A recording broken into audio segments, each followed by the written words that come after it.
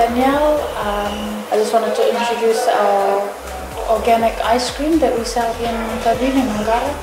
We have bundi passion fruit, we have guava, we have mulberry, and we have soursop. Uh, it's all organic, and the fruit is uh, grown in Bavala by Robert and Lucilla.